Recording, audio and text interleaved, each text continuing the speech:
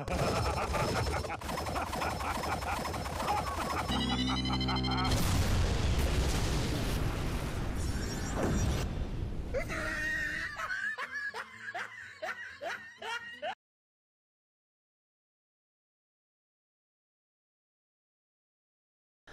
everyone, I'm Geek Freak and welcome to the video. Now before I go on, there's a few things I'd like to mention. In the first 7 or 8 minutes, I'll be rambling about how a story should be and how a story should end, what my favourite stories are, and explaining why there needs to be a part 2, you know, etc etc. So if you guys want to cut straight to the list, I'll leave on the screen a number of the part of the video where you need to go to to see the list. As you can see on the screen right here. But if you guys want to watch the whole thing, please continue watching the video. And with that said, let me continue. Don't you just love animated stories on YouTube? To scary animated stories? To drama stories? You know, something along the lines of 1C Entertainment, Llama Arts, Nightmare Tales. I love horror animated stories. But I'm not here to talk about those. I might make a video of my top favourite horror animated stories in the future, maybe. I'm talking about drama animated stories. You know, the non-scary ones. I used to like Story Booth until it went political. I also liked Actually Happened till they took all their videos down. Which is sad because I would have loved to have watched those videos again. There's also My Story Animated. There are loads of animated stories on YouTube and they are very enjoyable to watch. But sometimes, you know when you watch one of those anime stories on YouTube, at the end of the video, it leaves you off on a cliffhanger and you want to know more on what happened next. And sometimes at the end of the video, the person narrating the video will say something along the lines of, My husband is cheating on me with my best friend, and one of my children isn't mine. If I reveal to my husband that I know, my family will be ruined. What should I do? And the thing is, after that, you want to know what's going to happen next. I mean, sure, sometimes stories like that are meant to have cliffhangers. I mean, it depends really. Some people will say, oh, oh, what happened next? What happened next? And some people will say, wow, that's a very good cryptic cliffhanger there. And you know what? Some stories aren't meant to have an ending. Scary stories, just like the one I just said, are meant to be ambiguous. And sometimes, in non-scary stories, it's up to the audience to tell the person who's narrating the story what to do. Like for example, somebody could be narrating a story, and this person who's telling the story could be telling the story about about our sister isn't her blood sister or biologic sister, and that she's been dating their uncle. And then she'll ask the audience something along the lines of, This is all my fault, what should I do? And then we, the audience, would write something down in the comment sections below, saying something along the lines of, Oh, tell your parents, and so on and so on. I mean, I guess those are okay. But I would still love a part 2 on what happened next. Now, sometimes the people who are animating these stories would sometimes take stories from Reddit or some other forum, they would read them word for word and animate alongside the story. And sometimes not all the time, but sometimes, we would never get an answer to questions that was in the story. Like for example, on Stephen D's channel, there's a story about a man and a baby, and the baby is it. And then a woman comes up to the baby, picks her up, and tries to walk away with her. The father grabs the woman, and then the woman says, Help me, help me, this man's trying to take away my baby. And then the father gets hit, and then a few things happen, and then the mother of the child comes out of the shop and sees what's happening to her husband. She goes over to see what the hell's going on, and one thing led to another, and she finds out that her child is being kidnapped by a woman. She runs over to the woman, tries to take her baby back. The kidnapper lets go of the baby, and the kidnapper runs to a car and drives away. And nobody did anything to stop her. And then the police came and they were saying, Oh, that man tried to steal the baby. And the cop was saying, Oh, was the father being mean to the baby? And one thing led to another, and the couple and the baby went home. But the thing is, we are never given an answer on what happened to the kidnapper. And this isn't the animator's fault. He's just reading what the person wrote. So the animator doesn't have an answer. It's the person who wrote the story on Reddit who has the answer. And you know what? That's fine. If the animator doesn't have an answer and he's just taking a story that already exists, then you know what? I'm not blaming the animator or anybody for that matter. So yeah, those are the three things that I can accept when it comes to storytelling. Leaving it ambiguous, the audience giving the narrator advice, and it's up to us to fill in the holes, and that we're not given an answer because not even the animator knows the answers to those questions. I can accept those because he's not the one that's telling the story because he got that story from somebody else. And the person who wrote the story is the one with the answers. So, yeah. And there are stories that have like part 1, 2, 3, 4, you know, that has a continuous story. And I've seen those on YouTube. Those are great. And sometimes, if not most of the time, just having one video to tell the whole story and doesn't need a part 2 to give us a satisfying ending. I mean, sure, we might have a few questions like, did this guy ever meet his half siblings? You know, something like that. But questions like that isn't the focus of the story. The focus of the story is about something else. Like, this guy finally met his father and finds out that his mother had an affair with his father while he was married to another woman. You know, stuff like that. The main focus would be about that. And some people might say, oh, but what about the half siblings? But you know what? That's not the big picture. It's about how he handles the fact that his mother had an affair with an already married man. So asking questions like, oh, did he ever meet his half siblings? Doesn't need to be answered. I mean, yeah, sure, you're going to have some people out there who's going to say, oh, uh, so did he actually ever meet his half siblings? I mean, yeah, sure, there's going to be people out there who wants to know the answer. But again, that's not the big picture. Not every single question needs to be answered. And you know what? I'm okay with that, regardless if this story is made up or it's a true story. The main point is that we need to focus on the big picture of the story, not the potential side stories. But if there was to continue the story by telling us the side stories, then that's fine too. However, during my time of watching animated stories on YouTube, there has been stories that I've watched that I wished had a part 2, or that I'm waiting for part 2 to come out. And one of those stories that I'm waiting for from My Story Animated is from My Story Animated, my mom woke up from a coma after 15 years to get revenge. And let me tell you guys something, I love this story. I loved it so much that I made analysis video in parts 1 and 2. Well, you know, from the same video. The story itself is fantastic. But the problem is, the story stops at a cliffhanger, and it's been 3 months since that video has came out. That story, My Mom Woke Up From a Coma, is a very, very good story. And loads and loads of people want to see part 2, and I hope they can bring out part 2 very, very soon. And it isn't just this story. There's a YouTube channel called Short Stories, and sometimes they would have a single video telling the whole story, and sometimes they'll have parts 1 and 2 of a story in two separate videos, and sometimes they will leave the story on a cliffhanger, or leave it ambiguous, or leaves it up to the audience to say what the narrator should do. Now sometimes I don't mind the story being ambiguous or that we have to give the narrator some advice, and hell, I don't even mind if the story is on a cliffhanger. It depends on the story really. But on short stories, there are stories on that channel that I wish was completed, with a part 2 or part 3 if they're going to go that far. And that is the main reason why I made this video. I am going to show you guys which videos deserves a part 2 to carry on the story. Because I will say this, there are stories on short stories that really needs to carry on with its story or stories. And this is where the top list starts. This is going to be my top 8 short story videos that deserves a part 2 to finish the story. Now some people will disagree and say, oh this story isn't interesting enough for a part 2 and some people will say, Oh, but Geek Freak, you've missed this story. This story deserves more attention than these other stories. Well, I'm going to tell you guys something. It's either one of a few things as to why I didn't put those videos on this list. Number one, I didn't find them interesting enough for me to want a part two. Or, number two, it's most likely I haven't seen them or I completely forgot about them. So if there's any stories on short stories that you wish that was on this list, please put them in the comment section below and say why that these stories should get a part 2. And I might make a part 2 of a top 10 list of stories that deserves a part 2 to carry on the story. So if there's a story in short stories that you think deserves a part 2 that I didn't put on this list, please don't be butthurt. It would probably be most likely that I forgot about those stories. So again, if there's a story on short stories that deserves to be on a list, put them in the comment section below. And do take note, I'm going to be spoiling on what happens in all these stories. So if you guys haven't seen these videos, stop watching this video now and go and watch those videos. Because again, major spoilers coming up. And so with that said, let's move on to the list. Number 10. My BFF jumped in our couple picture, then cut me out of it, but I never know her real purpose. Shouldn't it be knew her purpose? Whatever. Yeah, very long title there, isn't it? like I said, I'm going to be giving you guys spoilers, so if you guys don't want to hear any spoilers, stop this video and go and watch the title of this video that I'm about to spoil for you guys. I'll give you 3 seconds.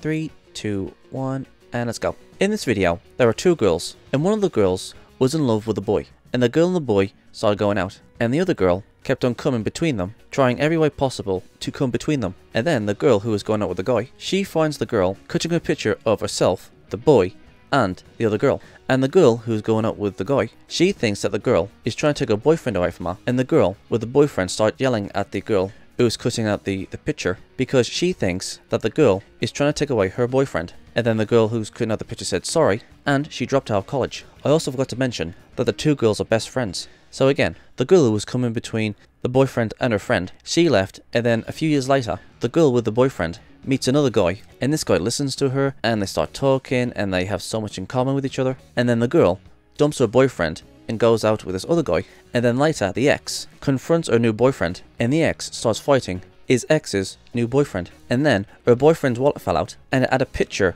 of her and her best friend. And then the fight between the two boys stopped, and she told her ex what was in the wallet, and then her new boyfriend broke down and told them the truth that he was actually her friend who dropped out of college, and she had a sex change and the reason why she did that is because she was in love with the girl. She was in love with her friend. She had a sex change so she could be with the girl. So now she is a he. And at the end of the video, the girl said, I've never actually been with a trans before, which is dumb because having a sex change doesn't mean you are trans. But yeah, I'm getting off topic. And now the girl doesn't know what to do. Should she stay with her new boyfriend that used to be a girl? Or should she go back to her old boyfriend? And that's where it ends. Now the reason why I think that this deserves a part 2 is not only is it drama, but this is a very unique situation. Well, I mean, it is kind of unique. You have a girl who turned herself into a man, so the she that's now a he can be with the girl. But the thing is, the girl who is now a man, he comes off creepy to me. At the very least, he should have told her when he was a girl on how she or he felt. To me, I think the girl now guy was being a bit too creepy. For me, I think she should go back to her old boyfriend. But the fact that this girl now guy went out of his way to have a sex change in order to be with the girl that he, she likes, for me, I would like to know what happens next. It must have cost her him a lot of money to do the sex change. And here's the thing, what does she, he's parents, brothers, friends, family, etc, etc, think of this? That she, he had a sex change in order to be with a girl that she, he likes. What does the girl think about this? What does the ex think about this? But if you ask me, I think the girl now guy was being a little bit too stalking if you ask me. For some reason, this doesn't feel right to me. The girl now guy kept on coming between them, and when she got caught out and left, and then sometime later, she had a sex change and turned into a boy. If you ask me, I think she went way too far just to be with a girl. For me, I think the girl should just go back to her ex. But you know, that's just my opinion. And that is why I believe that this story should have a part 2 to it. And that's that. And so, with that said, let's move on to number 9. Number 9. I lured my neighbour into my plan to have a baby. This story annoyed me because of the main character, because in this story, one of the main character's friends got pregnant and she'll become a mother soon. And the main character of this video said that she desperately wants to have a baby, that she wants to have a daughter, and she so desperately wants to be pregnant and all that stuff. And she even got one of her classmates to have sex with her. He pulls out a condom and she goes, oh no, you don't have to put one on. And the guy was like, huh? And the guy was like, oh no, I'm gonna put this on. And then the girl explains that she wants a baby and she won't trap him. And then the guy says she's crazy and leaves, and then the whole school knew about it, and the parents of the guy that she was trying to sleep with told his parents, and then his parents told her parents what she was trying to do, and then after that, they kept an eye on her, making sure she keeps out of trouble, and then they leave to a funeral, and their next door neighbour keeps an eye on her, and her next door neighbour has a kid, and he's a single father, and somewhere down the line, she tries to seduce him. At first he doesn't want to, and they're about to do it, and then the parents come back, and the parents press charges, against the guy, and now the daughter's in trouble, the neighbour who was the single dad, and who was keeping an eye on the girl,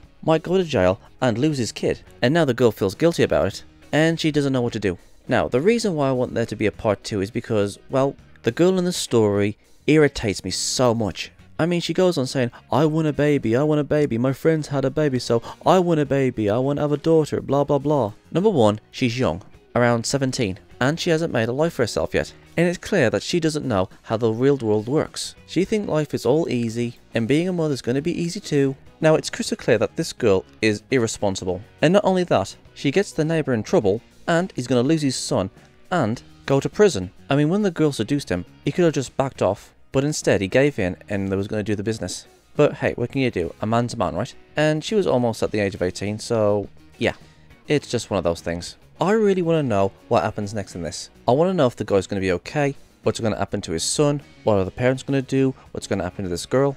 For me, I just really want to know what's going to happen. And yeah, I know I find this girl insufferable, but there is a good story to this. I would like to know what happens in the end. I don't want that guy to go to jail because of this stupid girl. I mean, let's just say for example that the guy did go to jail who would look after the neighbor's kid? Well, maybe the parents could adopt him and they could put the daughter in charge of the kid. So that way she can see how hard it is to be a parent and she needs experience and money and a job and so on and so forth. Maybe then she'll learn a lesson.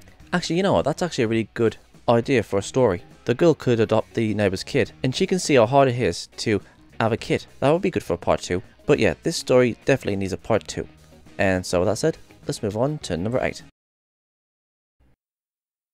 Number 8. a strange man came to me and asked me to do an unbelievable thing. Okay, basically, a girl thinks that her mom is cheating on her father, and her mom is meeting up with somebody else, and the mom is sneaking behind her daughter's back, and then the daughter finds out that her mother is meeting with another man. The girl goes to her mother, confronts her, and demands to know who this guy is that she's with, and the man says, So this is our daughter, and then the mother pulls her back, and the mother explains to her daughter who that man really is. And apparently, the guy was a sperm donor, and the parents told him to never intrude in their life ever again. Yeah, apparently the father was a Jaffa, aka seedless. Anyways, the reason why that man, or her biological father, came to look for her is because the guy has a disease and he needs a marrow bone transplant, and his daughter is his only living relative. But the parents refuse to help him because they didn't want their daughter to be put in danger for some reason. And then the daughter goes on saying, If it wasn't for that man, I wouldn't have existed. So don't I owe it to that man? Because if it wasn't for him, I wouldn't have existed. So the parents are refusing to help the man because they worry for their daughter's safety and the daughter might be thinking of helping him. And you know what, if you ask me, I think that she should talk to her parents and see if they can come to an understanding. Because again, if it wasn't for him, she wouldn't have existed. I mean, I know this isn't the most exciting story in the bunch, but for me, I find it very, very interesting. Like, what would her relationship be with this man? What would her relationship be with her father? What would her relationship be with her mother now? Will the daughter help her biological father? Maybe this one could have been a little bit further down, but I am a sucker for these sort of stories. But you know, that's me. And with that said, let's move on to number 7. Number 7. My wedding was cursed. Our story begins with the couple wanting to get married, and they're planning on getting married at the husband's sister's venue, and the sister calls up her brother and her brother's wife, saying that they double booked and they can't have the wedding on that day. And then they decide to go to another venue, and the sister is mad at them because she was insulted because they decided to use another venue. And then later they find out their passport is missing and she can't find them. And then later on, her fiance accuses her for cheating on him with another man because he found her old phone and there was a guy texting her saying, I got the passports and money. I can't remember if there was money. Anyways, the husband leaves and she is begging him to stay and telling him that she doesn't know anybody named Seth. But he leaves anyways. And then her fiance's sister comes by and says, Listen, you didn't cheat on my brother, did you? And then she said no, and they started talking all night. And then the sister said something along the lines of, Maybe my brother got cold feet and he couldn't go through through the wedding. He must have been the one who set it all up. And the woman started to believe her fiance's sister, and then she falls asleep. And then later on in the middle of the night, she wakes up and sees her fiance's sister on a laptop looking at pictures of her sister-in-law. And then the woman who is getting married to her fiance, she picks up her old phone and she texts a message to the guy Seth, and she hears a bleep coming from the same room as her sister-in-law, and she catches her in the act, and she finds out that she was the one who was named Seth. She was the one who was sending those messages about the passports. And the woman was furious at her sister-in-law, and the sister-in-law explained why she did all this. And apparently, the sister-in-law was in love with her sister-in-law, and she couldn't bear that her brother was marrying the woman that she loved, so she planned to sabotage their wedding and tried to break up her brother and her sister-in-law up. And then the woman told her sister-in-law to get out, and now the woman doesn't know what to do. And obviously she has to tell her fiance that his sister cooked everything up to make them break up because she was in love with her. But the thing is, he isn't picking up. And it's obvious that the sister-in-law is crazy because she is in love with her brother's fiance. So yeah, I really, really want to know how this turns out. Like, how is she going to get back together with her fiance? Will her sister-in-law stalk her and carry on trying to ruin their marriage? This was another one that infuriated me. I mean, if you was in love with somebody but they're marrying somebody else or being with somebody else and they was happy, then if you loved them, you would put their happiness before yours. And it is crystal clear that the sister-in-law wasn't going to go for that. If the sister-in-law really did love her brother's fiance, then her happiness should have been her happiness. But instead, she's just being selfish, trying to break up her brother and his fiance up. So I really, really want to know what's going to happen next. This episode deserves a part 2. And so, all that said, let's move on to number 6. Number 6. My twin sister wants to ruin my life, my love, and my happiness. Basically, in this story, there are these twin sisters, and they have a very conservative family. Well, conservative parents. Or you could just say that they're very religious. And the twin sisters get on very, very well. They are very, very close with each other. So yeah, one day, one of the twins and her friend accidentally goes into a gay bar, and then a few minutes later they leave because they got the wrong place. And then when they walked out and walked away from the building, somebody who knew the two girls told her parents the twins' parents, that they saw her come out of a gay bar, and her parent was not pleased. She tried to explain that she wasn't gay and they just got lost, but the parents didn't believe her and they sent her to a gay camp in hopes of fixing her. And then she goes to this camp and she meets a girl who was actually gay and then they became friends. And then later on, the twin girl and the other girl who she met at camp actually started liking each other. And she figures out that she is gay. What a twist, eh? She said she wasn't gay earlier on, but then later on, she figures out she is gay. And then after camp, she kept in contact with the girl she likes. And the twin girl was worried what her parents would think if her parents ever found out that she was gay. So the girl went to her twin sister in hopes that she would understand of what her predicament is. And when she told her twin sister that she was gay, her twin sister came out and said that she was also gay. And Janine, the one who went to camp, was thinking that everything would just work out with the help of her sister since they were both gay. However, the other twin, Alicia, decided against her sister Janine of being gay because she knew it would hurt both their parents if they found out that both of their kids were gay. Alicia, the other twin, was completely against her sister Janine of being gay, and she said that she would do all she can to break up her sister and her girlfriend. She even went so far as to look up her sister's girlfriend and sent her a picture of her sister and a boy together. But Janine's girlfriend believed Janine and now there's a fight between Alicia and Janine. And Janine is thinking about telling her parents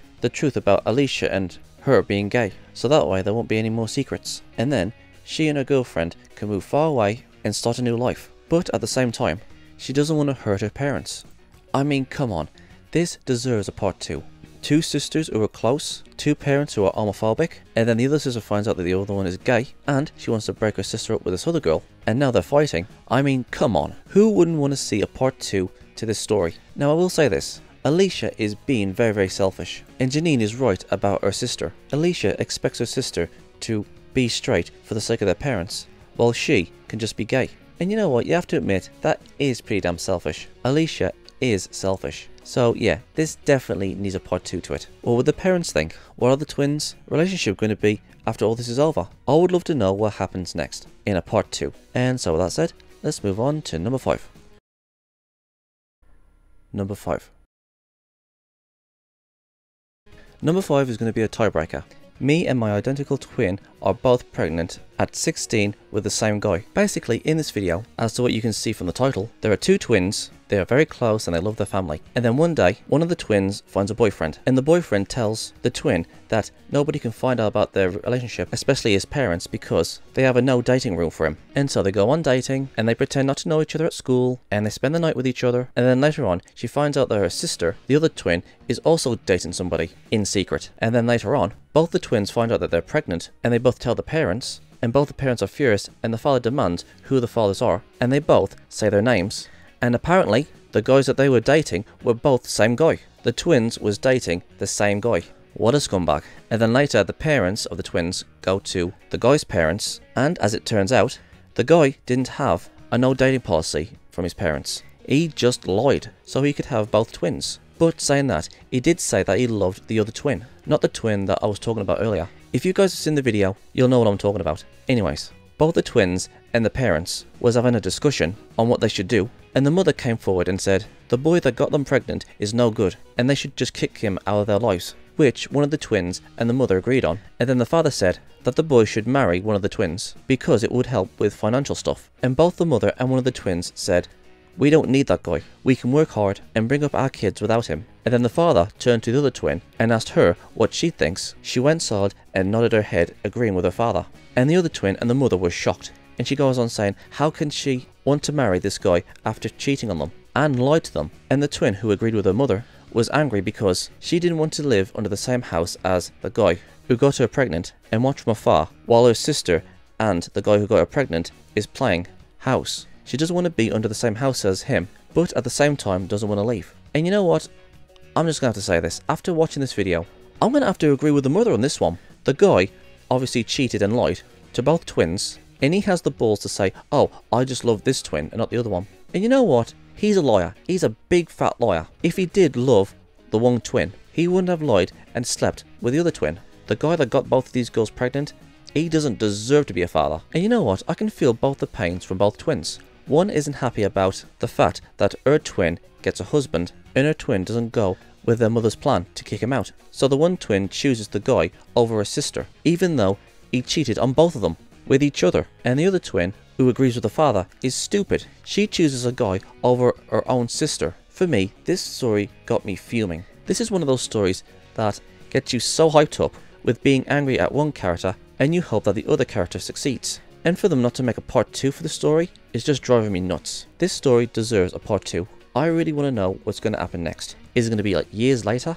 Is the guy going to be a good father or a bad father? Are the twins' relationship strained? I would like to know more what's going to happen in the story. And so, let's move on to the other tiebreaker. My boyfriend is my caregiver, now I know his hidden purpose. Basically in the story, a girl gets run over and her spine is broken and she cannot walk anymore. They hire her a assistant to help her and she meets a nice boy. At first the girl who couldn't walk anymore and was stranded in a wheelchair, she didn't like the idea that a boy had to take care of her. But over time she started to like the boy and then fall in love with him and they got on so well with each other. And while that was going on, the girl had to go to court in order to prosecute the guy who ran her over with her parents. Her father is actually a lawyer, and on the day when she had to go to court, she called her caregiver, who is also her boyfriend now. She wanted him to come with her to court, but he said he couldn't because he was sick. And even though she wanted him there, she went to court without him. And then one thing led to another in the court, and then the court went on a break. The girl who was in the wheelchair went for a short walk, and then she bumps into her caregiver, aka her boyfriend, and she was happy to see him but the boyfriend was sad. And then a woman came behind the girl in the wheelchair, and the woman said to the boy, Come into the court case. Your father needs you. And then the girlfriend got confused, and the boyfriend still had that sad look on her face. And then the girl who was in the wheelchair asked who this woman was, and then the woman looked at the girl's face, and she said, How do you know my son? And then she walks off. And then her caregiver said that the guy who ran her over and put her in the wheelchair is actually his father. And then when he found out, he told his father to come clean and admit what he did. But the father refused to. So out of guilt, he got a job as a caregiver, and he unknowingly was taking care of the girl that his father ran over. And then when the jury summons came in and he saw her name on it, he was in shock, and this left the girl speechless. And then one thing led to another, and even though it hurted her to do it, because it would hurt her caregiver, she went up and told the truth. And now the caregiver's father is waiting for his sentence. But even though this is happening, she still loves her caregiver, and assumingly that her caregiver also loves her. And even though it's complicated and they still love each other, parents of both kids refuse to accept the fact that both kids love each other. And she goes on to say, if it wasn't for the accident, I would have met my caregiver. Okay, first of all, both the driver and the girl who is now in the wheelchair is both at fault. She was looking at her phone while going at top speed on her bike, and the driver was going at top speed going around a corner. So they're both at fault for this. But I guess the girl had the raw end of the deal. And also, she doesn't seem like a bad person. And even though I do admit that both are at fault, the father seems to be the one who doesn't want to accept responsibility for what he did. So it's either one of two things. One, he didn't see himself being in the wrong, or two, he's just a coward. This story is kind of like a Romeo and Juliet sort of thing. Both families don't want their kids to be with the other. One family sees the son of the man who put their daughter in a wheelchair, and the other family sees the girl who put one of their own a father and a husband in jail. And even though this is happening, the boyfriend seems sad about it, but at the same time seems to still love his girlfriend. So yeah, I am definitely getting that Romeo and Juliet vibe here. And that is why I want a part 2. I want to know what's going to happen between these two now. I just love these sort of stories. I love complicated situations. If it wasn't for the accident, they wouldn't have met. And even though both parents hate the other family, the kids still love each other. So I would really like to know how they're going to sort this out. This is a story that I desperately want to have a part 2 to. And so this is my tiebreaker. Let's move on to number 4. Number 4. I fell in love with my half sister. Sweet home Alabama. Yeah, yeah, yeah. Okay, I got that joke out the way. Let's move on. The next story is about a kid who loses both of his parents. One parent, which was the mom, lost her life in a car accident, and the dad lost his life to a disease. And the dad, before he died, signed up for a safety deposit box service. And when his son turned 18, he could open it, and all the contents in that box would go to him. And after hearing this, there was people left and right saying that they were his relatives and they want to take care of him, but obviously they were more interested in the security box more than him. And then his dad's brother came up to him and said that they were really close when they were younger and they lost contact when he moved to another city, and his uncle offered him a place at his place with his family, and the uncle genuinely seems to be happy to have him in his life. The uncle even said before his brother died, he asked him to take care of his son, and he goes with his uncle to his house and meets his daughter and his wife. And his daughter was really nice to him, but his uncle's wife didn't want him there. And the only reason that she allowed him to stay at their house was because of the deposit box. And she kept telling him this if it wasn't for the deposit box, I wouldn't allowed you to be adopted. I swear, what a cow. I'm sorry, but this woman really irritates the hell out of me. Anyways, after getting so much grief from his uncle's wife, or his aunt, he was thinking of running away. But his cousin, which is a girl, kept encouraging him to stay. And his cousin made him feel right at home, they got along with each other, and they were really happy with each other. And even his cousin was blushing when they saw each other. And so he decided to wait until he was 18 and confess his love to his cousin. Um, Sweet Home Alabama. Ugh, that joke is getting so old. Anyways, the years were bittersweet. He loved spending time with his cousin, but he never got along with his uncle's wife or aunt. And then when he turned 18, he, his uncle, cousin and aunt went to go open the box at the bank and when they opened it, the aunt shoved him out the way and started reading the letter that was in the box. The kid couldn't care less about the money, but he was expecting something along the lines of like thousands or millions of dollars in there. And then, after reading the letter, the aunt was in shock as she dropped the letter. And then the kid picked up the letter and started reading it.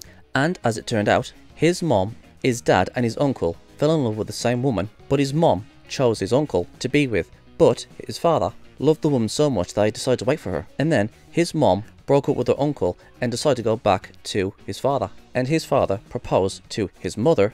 Well, not the father proposing to his mother, I'm just saying, you guys know what I'm trying to say. If you've watched the uh, video, you know what's happening. Anyways, his father proposed to his mother. Again, you know what I'm trying to say. And she quickly fell pregnant. But the father knew the baby had to be his brother's, so he kept it quiet and pretended that he thought it was his because he was infertile, because when he was younger he had the mumps or something. And the reason why he didn't want to tell his wife that he knew that the baby wasn't his was because he was afraid of losing her. Again, the uncle got married to somebody else, which we all know is the evil aunt. So basically, his uncle is actually his father, and his cousin is actually his half-sister. And his uncle didn't know anything about this until now. And the aunt was furious about this. She called her nephew a freak that ruined their family's happiness. And it looks like she was about to punch him. But his uncle, aka father, pulled his wife back and dragged her outside the bank, and his cousin, or half-sister, was just standing there crying after hearing all this. So he finds out that his uncle is his father and his cousin is actually his half-sister. So yeah, as the title promised, he was in love with his half-sister. Oh, sweet home Alabama. And now he doesn't know what to do and how to feel. I swear to you guys, I love drama like this. Uncle, I am your son. I mean, after all these years of living with his uncle, he didn't know that his uncle was actually his father. I mean, you have to admit, the kid did dodge a bullet there. Because if he didn't read the contents of that safety deposit box, he would have just married his sister. Good thing he decided to uh, read it. And it's crystal clear that his aunt, or stepmom, hates him. The only reason that she allowed him in her house was because she thought there was money in that box. And from what we've gathered, there doesn't seem to be any money in that box. Just a letter. And I don't think there was anything else in that box besides from that letter. So, after all those years of telling the boy, if it wasn't for that deposit box, I wouldn't have never let you into this house. The aunt or stepmom thought she was going to get money. So, not only was there any money in the safe, but it turns out that her nephew is actually her husband's son. So instead of being understanding, this woman is just selfish and greedy. And after finding out that his cousin is actually his sister, even though I find it disgusting that two cousins can marry each other in some places in the world, I mean, come on, seriously, what was this kid thinking? Wanting to marry his own cousin? But whatever, it's just a story. So, what's this kid gonna do now? Is he gonna leave home and find a job and find a place for himself? What's his relationship gonna be with his uncle now father? What's his relationship gonna be with his half sister. What's this kid gonna do now? And you know what? I can tell that the aunt really, really doesn't want the kid in her house. Is this gonna lead to arguments with his uncle now father? And also, one other thing. The aunt has the nerve to say, oh, you ruined my family's happiness, is something that really, really pisses me off because the only person that was unhappy in that family was her. The uncle was happy to have him live with them, and the daughter was happy for him to live with them. And the only one in that house who was unhappy with him being there was his aunt. She's just a greedy, selfish old bat who doesn't care what this kid has gone through. And the only reason that she kept him around was because she thought she was going to get money from the deposit box. I would really like to know what's going to happen next. Even if it's going to be a 3 minute video, I would like to see a part 2 to this story. I really want to know what's going to happen to this kid and his relationship with his father and his half sister. What is he going to do next? So yeah, that's number 4. Let's move on to number 3. Number 3. My boyfriend replaced me, now I have nowhere to go. This story annoyed me so much. Not the fact that it was bad, but okay, let me start from the beginning. There was this girl, and she hits it off with a guy, and the guy tells the girl that his parents died or something like that, and he lives with his uncle's family. And he goes on to tell her that when he turns 18, he wants to be independent and move away somewhere. And they're smitting with each other, and he's saying, I love you, and, and being all mushy mushy. And then one day, the girl introduces her boyfriend to her parents, and the boyfriend and the parents started to get along very well. And they started talking to him, and he started talking to them, and he even told them about his tragic past, how his parents died, or something like that, and how he lives with his uncle. And the parents said, You can come over anytime. And after that, he started doing that. And the kid started spending more time with the parents. Like, for example, they would make their daughter go to bed early so they could watch a horror movie with the boyfriend. And then another day, all three of them, the mom, the dad, and the boyfriend, went to the zoo and left the girlfriend behind and just left her a note saying that they were going to the zoo. And when they came back, the mom, the dad, and the boyfriend was talking how good their day was, and the girlfriend was angry at the boyfriend, and he brought out a necklace and he gave it to her, and he was being all lovey-dovey, saying I love you, blah blah blah, that sort of stuff. And then she started being smitten with him again, and just forgot about the things that nagged her about him spending more time with her parents. And then, when she woke up one morning, she saw her boyfriend helping her mother make pancakes. And the boyfriend said, Dad, would you like some more pancakes? Or something like that. And the dad says, No thanks, son. And the dad just glanced at his daughter and just said good morning. And the mom gave her a half glanced smile. And the mom gave him the biggest amount of pancakes ever, while she only got little burnt parts of pancakes. I'm going to tell you guys something now. At this point, I was really, really fuming, even before the video stopped. Anyways, I'll continue describing what's happening. And then, when he finished his pancakes, the mom said to the boyfriend, Would you like any more? And the boyfriend said, No thanks, mom, I'm stuffed. And the parents kept on spending more time with the boyfriend, going to restaurants, cinemas, etc. etc. without even inviting the daughter or telling her where they're going. And even though the girlfriend is practicing with her band for an event at the school, and the girlfriend goes on saying that, oh, they spend all their time with her boyfriend and never ever spends any time with their own daughter. And every time she walks into the room, they just go silent. I swear, these parents are freaking awful. And the boyfriend is terrible as well. Anyways, the girl goes home because she had an headache, and she finds out that her boyfriend is packing suitcases in the car. And her boyfriend tells the parents to go on a wedding anniversary trip, and he also told them that their daughter would be performing on that day. And they did all this without telling her a word about it. And now she can see that her boyfriend is actually a manipulative rat. She believes that her boyfriend is trying to steal her parents away from her. And then she goes up to him and says that they are over and she wants him out of her and her parents' life. And the parents didn't even take her side. And they didn't even ask why or they didn't even have a talk about or anything like that. They just told her that they were ashamed to have her as a daughter because of the way she was acting. And they also said if she's still the way she is by the time they get back from their vacation or holiday with that selfish grudge, then she had better have left the house. Guys, I don't know about you, but I am seething with anger right now. And even though I'm explaining this, just remembering what the parents are doing it just makes me really, really angry. So yeah, carrying on. It's been a month since then, and she's been living with her friend. And her friend believes her that her ex is a lying rat. The boyfriend has manipulated them, and the parents are still not talking to their daughter. And the boyfriend is still living in her house. And the girl's aunt said that the parents have redecorated her old room and made it his own. And the parents have introduced the boyfriend to the rest of the family the cousins, aunts, uncles, etc. etc. This girl believed that the boy loved her, but it was all a lie and warmed himself into her life so that he could seal it. you know what? I don't know about you guys, but this story made me really, really angry. Now, I know this is a story, but you know what? I'm just going to say this. The parents are absolutely disgusting in this story. They just replace their actual daughter with a complete stranger. They spend more time with him, going out to restaurants and the cinema, etc. etc. having a good time with him, chatting, etc. etc. They give him most of the food while she's left with scraps. And they don't tell her anything about their future plans. And they even kick her out so they can keep the boyfriend or the ex-boyfriend. And they have the nerve to redecorate her old room to make it his own and for a month they haven't even spoke to their daughter. I mean, the parents are just so goddamn awful here. And you know what? If there is going to be a part two, I pray, I really, really do pray that the parents get punished because even though the boyfriend stole her life, the parents did a 180 on their own daughter.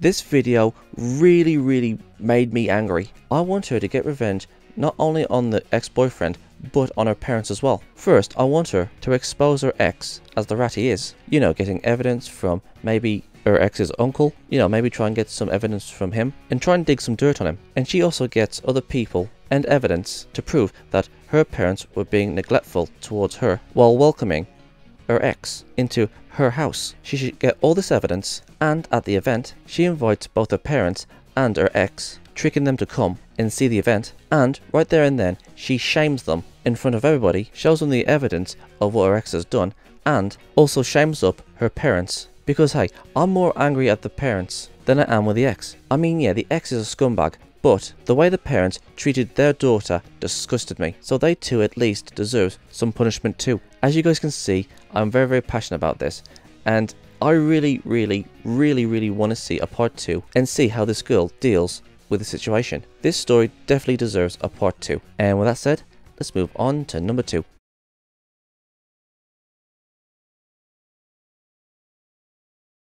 Number 2 is My mom loves my uncle and put my dad in jail. Seriously, why didn't they make a number 2 for this story? I have been waiting ages and ages and ages for this story. Okay, basically, in this story, it's about a girl who lives with her mom and her dad. Her dad is a congressman and he always tries his best for his family, always mentioning his family in his speeches. And her mom does charity events and is very well liked in the community. And it seemed that the family really did love each other until one day the daughter went home early and she finds out that her mother is having an affair with her father's brother. The uncle left, and the mom was hesitantly telling her daughter how her husband was struggling with the election and he put all of the money into it. And then the daughter says, Mom, I didn't ask. And then the mom says, Oh, this is just an adult thing. And she asked her daughter to keep it quiet. The daughter knows exactly what's going on. And the daughter even said that she would keep it quiet. So from that day on, she kept the fact that her mom was having an affair with her uncle. And then after that, everything just seemed to go back to normal.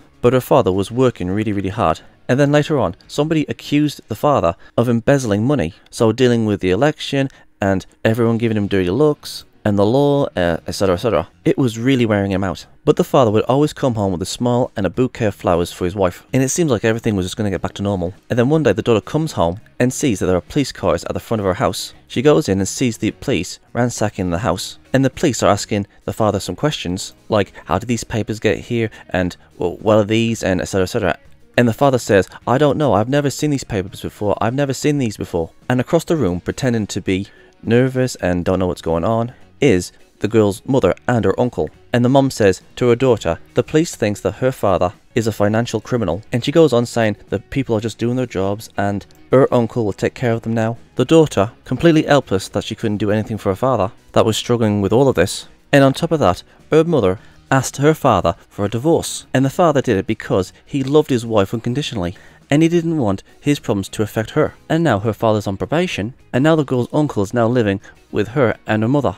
And after that, the girl left her house and she went and lived with her aunt. And during her time living there, her cousin was giving her such an hard time. And it got to a point where her cousin was giving her so much grief that she got her phone and put it in some water. And she got in trouble for it and she almost got kicked out. And then afterwards, she just grit her teeth and just dealt with it. And then one day, the girl's father's lawyer came to her and said that they found evidence that it was her Uncle Alan who framed her father, and her mother was helping her uncle do it. And even though the father found out about the affair, he didn't have it in him to fight anymore.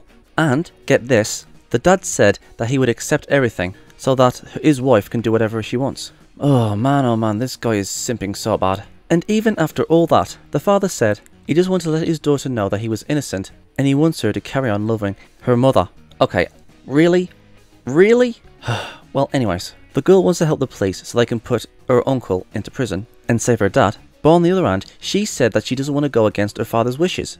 Really? This is one of the videos that really ticked me off. Anyways, the girl believes that her mother was being controlled by her uncle, and she goes on saying that her mother's got a good heart. Okay, if her mother was a good person as she said she is, then she wouldn't have done what she did to her husband. This story pissed me off so much. The fact that the mother cheated on her husband with his brother and helped him frame her husband, and then she asked him to divorce her, and she pretends that uh, she didn't know what her husband was doing and all that stuff. And the girl wants to respect her father's wishes. Well, you know what? You know what I've got to say? I say forget about your father's wishes and just put your uncle behind bars where he belongs. Or, here's an idea. Here's a loophole. Find all the evidence against your uncle and try and take your mother out of the picture as much as you can and say that your mother was being manipulated by your uncle. or find all the evidence that leads to your uncle and with the least evidence that would lead to your mother. Yeah, yeah, I know this is just a story, but this story really ticked me off. And this is just an idea that you could do. Find the evidence that would lead to your uncle more than it would do to your mother. And when her uncle has been put in prison and her father is cleared of all charges, leave your mother and go and live with your father. And tell your mother, the only reason I didn't tell the police about you was because I was respecting my father's wishes. My dad loved you, and in his letters, he also told me to carry on loving you. We had a wonderful family, and you helped ruin it. You've lost dad, and now you've lost me. I'm gonna go and live with dad. Goodbye, mom. And if you ask me, I think that would be the perfect punishment for the mother. The uncle goes to jail, and the girl respects her father's wishes. That, in my opinion, would be the perfect ending. But after saying this, and if Short Stories is listening to this, they probably won't do this, because they want to put in their own ideas, not the ideas from other people. But yeah, this story deserves, it needs, needs, needs to have a part 2. I mean, I gave my ideas of what that girl could do, but saying that, I really, really want to see how this turns out. And with that said, let's move on to number 1.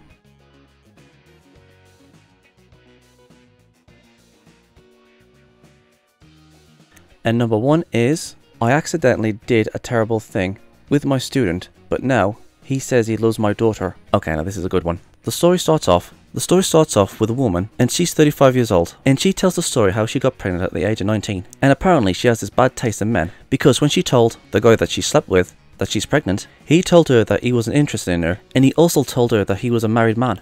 Wow, what a scumbag. So he up and left. And even though she was the only one that's taking care of her daughter, and even admitting that it was hard, she managed to look after her daughter while carrying on with her education in college. She finished it, and now she has her dream job. And this is years later, where her daughter is in, I think, is in high school, college, I think, and the mother is an English teacher. And then one day, the mother told her daughter that she's transferring to another school to teach, but the daughter didn't like the idea of moving. But eventually she came around. The job paid well and it was closer to her parents. So before the big move, she got her friends together and decided to go on vacation. I'm talking about the mother here, not the uh, daughter. The daughter decided not to go with them and decided to stay behind and say goodbye to her old friends. And on the holiday, the mom and her friends was having a good time and she felt young again. And you know, she was just having an all about good time. And then she got drunk and wandered into the casino casino. And then she meets up with this guy called Todd, and she ended up having a one night stand with him. And then, when the vacation was over, she moved and went to a new job out of school. And, get this, the guy that she slept with, Todd, was in her class. And she's like, what, 35 and he's 16? So, is the guy a grave robber or is she a cradle robber? When they met in the casino, he told her that he was 21. And even though their eyes met, he didn't look twice and went to his seat. And even though the woman felt awkward, she just assumed that he didn't remember her. And so she carried on like nothing happened. And at the same time, the woman's daughter was also at the same school and she wasn't in any of her classes. And she told her mom not to speak to her in school because having a mom as a teacher is super embarrassing. A few months later, the woman sees her daughter and Todd, the guy she slept with, talking in the hallway, and she could tell that her daughter liked him and the woman didn't like this, and she knew that he was trouble because he lied about his age. And she didn't approve her daughter of being with him. And then after that, she became a much more stricter mom, telling her daughter to come back at 7 and that she can't date any boys. But that didn't stop the daughter because she was so rebellious and she snuck out while her mom wasn't looking. But eventually, the daughter got caught trying to sneak back into their house at 1pm, and the mother shouted at her daughter, saying that she was grounded for a month, and then the daughter started shouting at her mother saying that she was old fashioned. So, grounding your kids is old fashioned? No, it's not. Punishing your kids is a way for them to learn their mistakes. The mom is just looking out for her daughter. Anyways, and the daughter also said that she was in love with Todd and she couldn't do anything to stop her. The mom freaked out and she said that Todd was a troublemaker. And the daughter said, Why do you have a problem with Todd? And the mom said, Because he's not good enough for you. But the daughter really wanted to know the reason why she didn't like Todd. But the mother couldn't tell her what transpired between her and Todd. And then later on, Todd found out that she was standing between him and her daughter. So he asked his teacher to meet her in private, and he told her that he remembers her from that night. And he also showed her pictures of the night that they slept together. And Todd blackmailed her and told her to stop coming between him and her daughter. And if she didn't, she would take these pictures to the papers. So basically, the kid is blackmailing her. Seriously, what sort of scumbag would do that? So he was a lawyer and he was a blackmailer. So yeah, I'm taking the mom's side that he's no good for, for her daughter. But saying that, she had no choice but to let them carry on with their relationship, because she was at a dead end. She would end up losing her job and her daughter. And after a while, the daughter and Todd was getting along, and Todd was treating her so nicely, taking her to places, buying her gifts, and the mother started to think that maybe her daughter brought out the good in him, but it was still weird for, for her because she slept with him. After a while, Todd said he would delete the photos because he didn't wanted her daughter to accidentally see the pictures. And he deleted the photos right in front of her and said that he truly loved Bella, her daughter. And the mom was happy about it and, and she thought that everything would get back to normal. And then sometime later, there was a parents' evening and at the parents' evening, she bumps into the guy who was Bella's father, the teacher's daughter.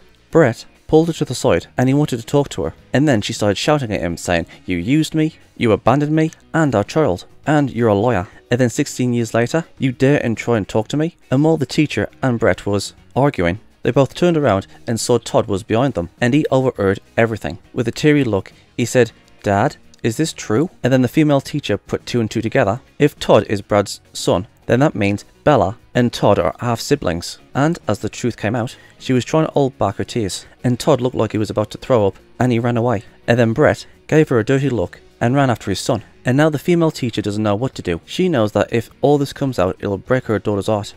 Oh man, what a story. This story feels like one of those very, very cheesy soap dramas. The woman gets pregnant, she tells the guy that she's pregnant with his child, and it turns out that he's married and he doesn't want anything to do with her or the baby. He runs away. Years later, she meets up with a boy, which at this point we know is his son. The teacher sleeps with him, and then he blackmails the teacher, and then deletes the files later. And then she meets up with Bella's father, and then the female teacher has an argument with him, and then the son finds out about everything. God damn, man, this is so freaking cheesy, but at the same time, I love it. The daughter doesn't know anything about this. And also, Todd finds out that his dad cheated on his mom with the same woman that he slept with. And, to make matters worse, Todd finds out that he's dating his own half sister. I'm going to say this Brad is the scumbag of the story. The mother is just trying to do what's right for her daughter. And Todd at the beginning seems like a scumbag, but later on it seems that he turned out to be a nice guy. So yeah, I'm definitely going to say that Brett is definitely the asshole of this story. So there's going to be loads of things that's going to transpire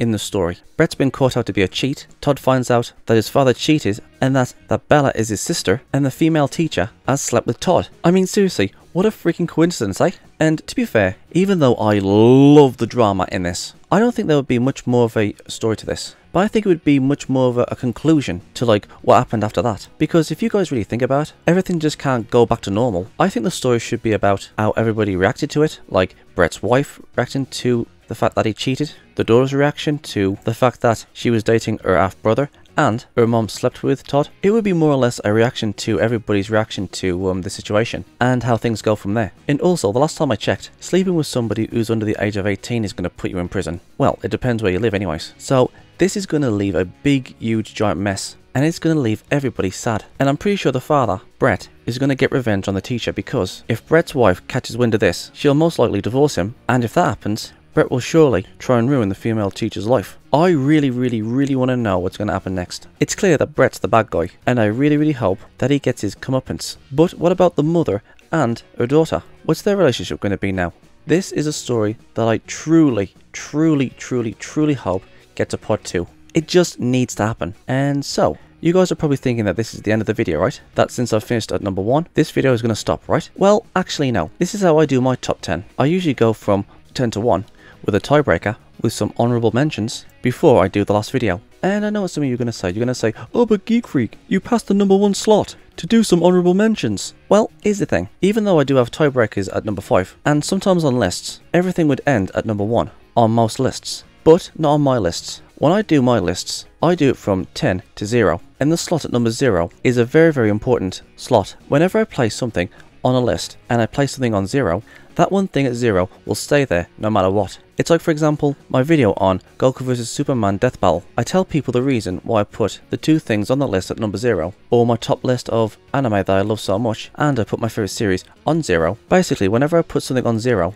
it will stay there no matter what. Even if I was to remake a list, that one thing at zero will always stay there no matter what, even if I was to update a list. But in this case, let's just say for example, the one story that I put on zero, add a part 2 to it, then the part 1 of that story won't be on this list anymore because the part 2 was made for it. You guys get what I'm saying now? It's like for example, spoilers by the way, my top 10 favourite anime series at 0 is going to be Monster. And even if I was to remake a list, the series Monster will always be at number 0 and I don't ever take it off the list. It will always remain at 0. So yeah, I just wanted to clear that up.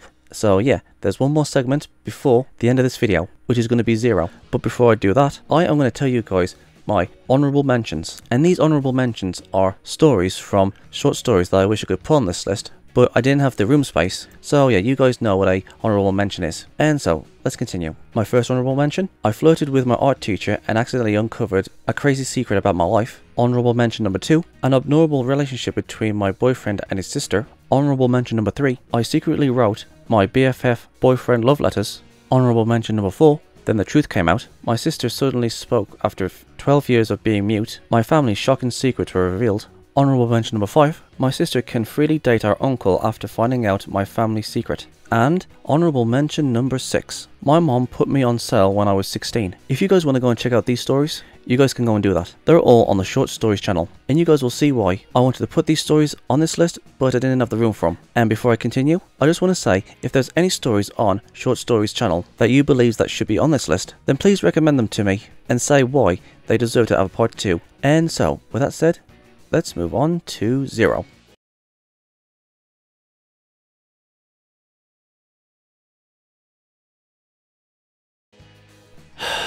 okay guys, when it came to this story, I was so goddamn angry. I mean, really, really pissed at this story. Now, here's the thing. The story is good, don't get me wrong, but the story really, really, really made me angry. Again, it's not because it was bad, but it's because what happened to the main character in the story. This story desperately, really, really, really, really, really needs to have a part 2. I really want to know what happens in this story. Now usually I would give a description of what's happening in the story, but in this case I'm not going to do that because the story left me with seething anger, and not having a part 2 just really ticked me off because this story has been out for like months and I'm still waiting to see what happens next. I'm just going to give a short summary. It's about two twins and one of them is successful and the other one isn't. They're both teenagers and the one twin is saving up and has her life together and they were both babysitting this rich couple and they both live with their aunt and the good twin is very kind and honest. And then one day, the good twin gets arrested and gets sentenced to three years in prison for stealing. And when she comes out, her aunt doesn't want anything to do with her. Her boyfriend was stolen by her sister, and her sister has stolen her money so she could go to the same college as what she wants. And get this, the evil twin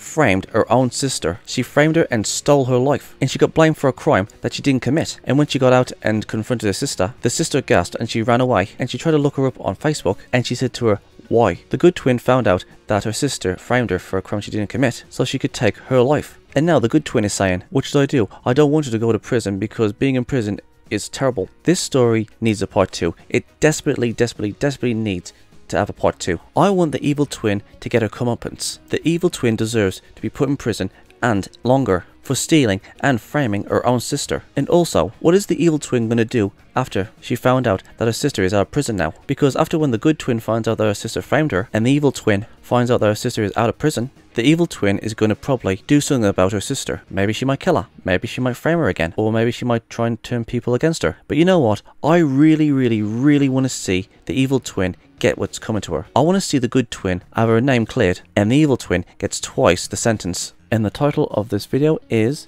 My Sister Kicked Me Out of My Life. Short stories, if you guys are listening to this, I beg you, I implore you, I really, really, really, really want to see a part 2 to the story. Please tell me, and everybody who's frustrated at the story, tell us what happens next in a part 2, please. This is the one story that I truly, truly want to see have a part 2 to. I genuinely want to see the evil twin get what's coming to her. She deserves to be put in prison. This story has to be the most frustrating story I have ever seen on this channel. Not because it was bad, but because I really, really, really, really, really wanted to know what happened next. It's just one of those stories that needs a part 2 and maybe a part 3. Depends on the length of the, story really. And that's it for me guys. And yes, I do apologise for this video for being as long as it is. But I did have a good time making this video. And you know what? That's all that counts. Is just having yourself a good time when you're making a video. And these stories, actually you know what? Not just these stories on this list and not even the honourable mentions. But most of the videos on short stories deserves to have a part 2 and an ending. And I know some of you are probably angry because there are stories on short stories that deserve to be on this list, but I do apologise because I can't remember all of them, and these stories are the ones I remember the most. So who knows, maybe I might make a part 2 in the future.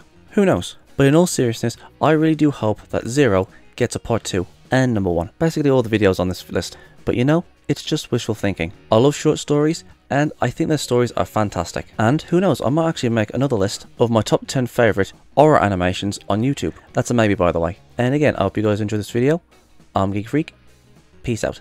Thank you guys for watching. And if there's a series you want me to check out and review and give my thoughts on it, or if there's a top 10 list you want me to do, or any reactions, or responses, or rants on anything geeky, just leave links and comments in the comment sections below, and I'll get to them as soon as I can. If you guys want to go and check out my other social medias, I'm on Gab, Discord, BitChute, Dailymotion, Reddit, Subscribestar, Minds, Instagram, Twitch, DeviantArt, Pinterest, Parler, My Anime List, and Videa. And don't forget to check out my Skeptic channel, Gypsy Freak. And my other social medias are down there in the description box below, so if you want to go and check them out, please do. And if you guys want to support this channel, I'm on PayPal, Patreon, and GoFundMe. And please don't forget to like, subscribe, and share this video. And don't forget to turn on the notification bell so you won't miss another video. I'm Geek Freak.